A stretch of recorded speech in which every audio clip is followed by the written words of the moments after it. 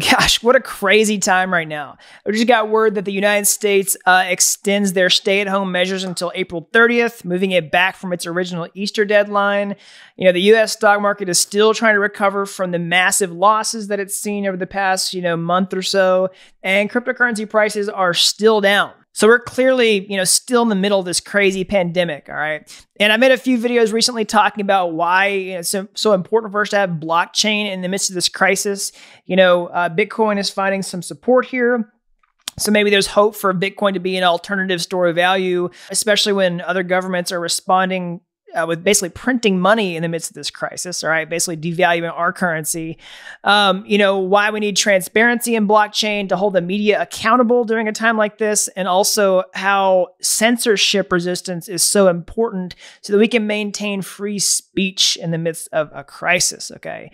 So, in order to achieve all these kinds of benefits, um, we need blockchain ready for prime time, all right, so that more people can use it. And that's what Ethereum 2.0 is all about. All right. So with all this crazy that's that's happening in the world right now, with all these businesses being shut down and entire economies just frozen, um, is this going to delay Ethereum 2.0 from you know arriving, especially when we need it the most? Well, that's exactly what I'm going to be talking about in this video. All right. I'm going to talk about you know where Ethereum 2.0 is in its roadmap and what we can maybe expect to see in the future. All right. So if you're new around here, hey, I'm Gregory from Dapp University, and on this channel, I teach you how to become a blockchain master.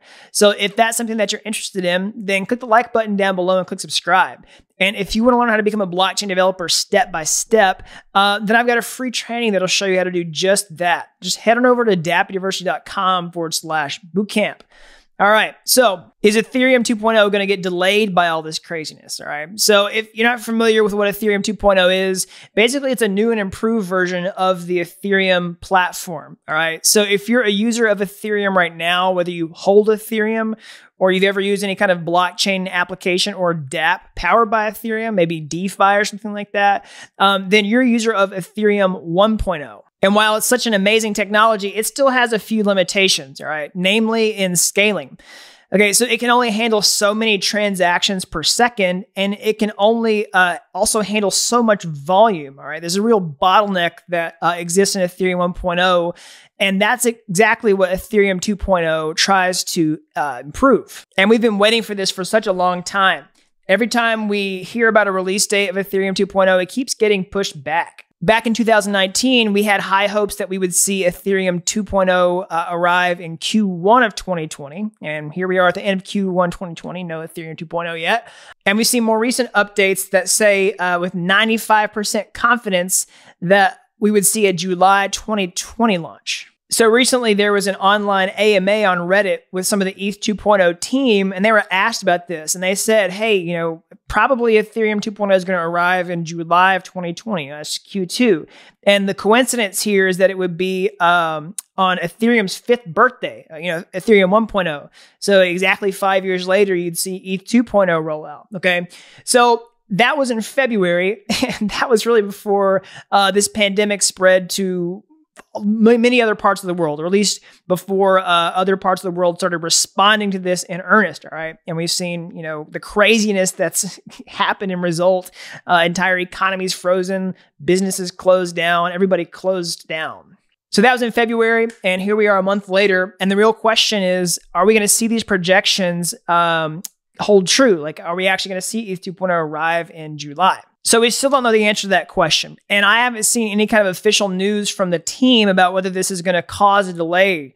But, you know, in this AMA and in other places, you know, they talked about the, the need for this to arrive in 2020. All right. So I'm hopeful that we're still going to see it happen in this year. Um, I'm also hopeful that they'll continue to meet their deadline and actually release it in Q2, uh, but we'll have to wait and see. All right. So let me also clarify what it means by Ethereum 2.0 arriving in 2020, because it's not like they just are going to press a button and, you know, then magically we have ETH 2.0. Right? It's going to happen over time in different phases. And before you get completely discouraged by a delay, uh, I just want to clarify that it wouldn't be a delay in the entire thing rolling out in July anyway. All right. So Ethereum is going to roll out in multiple phases. All right. Like I said, you can't just like flip a switch and then automatically you have Ethereum 2.0. Let me explain why. All right. So the types of problems that Ethereum 2.0 uh, aims to improve are essentially its throughput and its transaction speed. Okay. So the transaction speed is basically transactions per second, and the throughput has to deal with the block time, like the amount of time it takes for each transaction to uh, finish. And there are other things, but those are the primary uh, things that I want to see improved in Ethereum 2.0 in order for it to really get you ready for prime time. Okay. So, you know, you accomplish that multiple different ways. Okay, Ethereum has uh, different aspects to this upgrade. One of which is Casper or proof of stake. That's essentially uh, moving Ethereum's current consensus algorithm away from proof of work, which is mining, uh, to proof of stake. You know, Casper. All right. The other is uh, sharding. That's basically taking the blockchain and uh, instead of everyone having to do everything in the blockchain, it it sort of breaks up into smaller blockchains so that there's shared responsibility across the network uh, in smaller groups. Okay, and that. Uh, that basically helps speed things up as well. And then also Plasma, which is introducing uh, other side chains to handle some of the uh, operations of Ethereum to take some of the load off of the main chain itself. Okay. So these are all different parts of, you know, this Ethereum 2.0 that we need in order to, you know, improve this. Okay. And we don't just improve all these things at the same time. You work on each part individually, and then you get this added benefit at the end that is Ethereum 2.0. All right. So uh, I've got this roadmap pulled up here. This is from EthHub. It's a really great resource. I highly recommend you check this out. If I remember, I'll put a link to this down in the description below. But this talks about the different phases of Ethereum 2.0. All right. So, uh, you know, with this original uh, July release date that we were, were advertised, that was for phase uh, zero.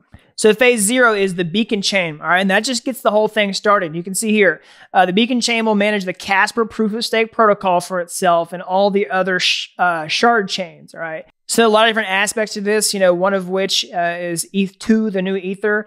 So basically, um, this will be the asset for stakers that they use uh, to be validators on the uh, beacon chain. All right, so you can read more about this, uh, but these are the types of things that would happen in phase zero. So it's not the complete picture, right? So, like for example, if you wanted to stake on ETH2 on phase zero, you can't actually withdraw. At least that's what it looks like here. Okay, um, so uh, after that, we need phase one. All right, and that's that's the next one. So this is where shard chains come into play.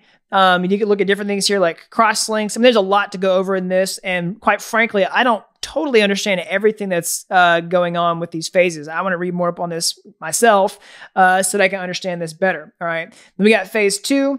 And it goes on and on. All right. So I'll put a link to this down in the description below so that you can read more about this and, you know, get a better idea of what's going to happen as Ethereum 2.0 rolls out over time. But this at least gets you started and understand what people mean by, you know, the arrival of Ethereum 2.0 and when we're actually going to get this this total benefit.